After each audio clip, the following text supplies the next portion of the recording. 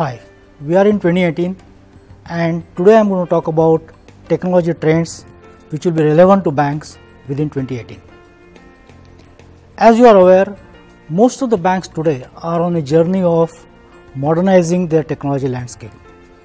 And in 2018, they will continue to do so in a progressive manner, in the sense that they will modernize components in a gradual manner, not in a rip and replace kind of a fashion banks which have a reference digital architecture will be able to do it much more smoothly and we'll talk about what this reference digital architecture is all about.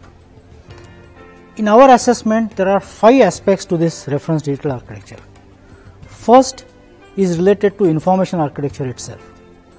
Now, what do you mean by information architecture? Information architecture is basically structure of the data. What we will find is more and more banks we start injecting personalization information into these data structures. Let's take an example.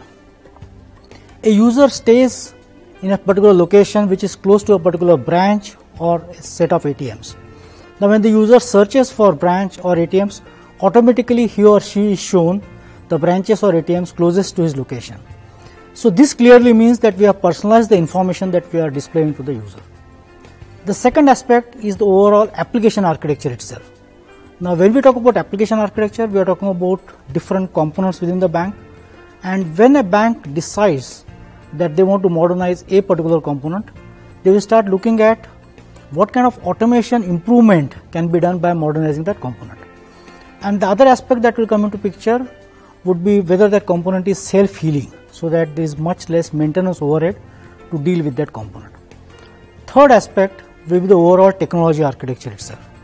Now, when we talk about technology architecture, the obvious consideration would be is this component cloud native and is it using open source and these are the considerations that will be there for the technology architecture. Fourth aspect will be integration architecture.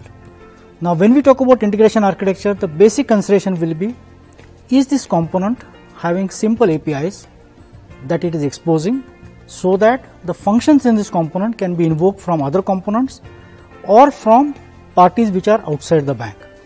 Now these APIs could be current prevailing standards like JSON and REST and so on. And then finally we are talking about the security architecture, another important aspect. There are two, two parts to security architecture. One is adaptive and second is collaborative.